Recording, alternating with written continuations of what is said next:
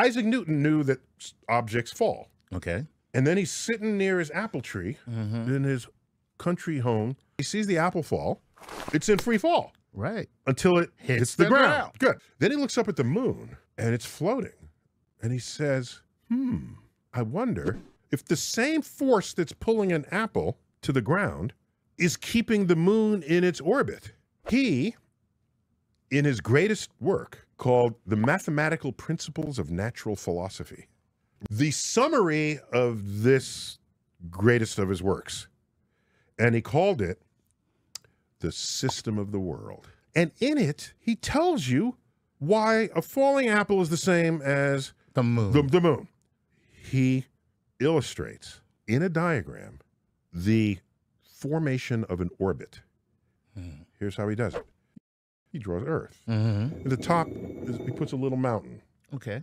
Okay. So now you have like a cannon or some thing that can send a Shoots a projectile, projectile. and you spew it out, and it lands at some distance from the cannon. Mm-hmm. And you give it a little more motion, and it goes a little farther, and even farther, and even farther. And so he's reasoning that if I keep shooting this faster and faster, this cannonball is going to come all the way around the Earth, and there must be a speed where it comes all around, and then I duck, and it keeps going and sustains the path. That would be orbital speed for this cannonball. Mm.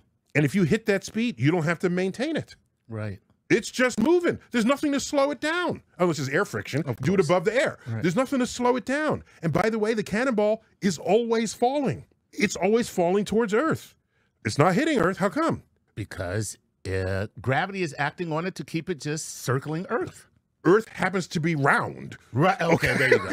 Okay. circling, but yes, it's yeah, round. Yeah, Earth happens to be round. Yes. So as you fall towards Earth, you're going downrange so fast, so far, that every foot you fall, Earth curved a foot Right. So you're just falling around the Earth. around the Earth. Therefore, objects in orbit are weightless because they are in free fall Around towards the Earth. Earth.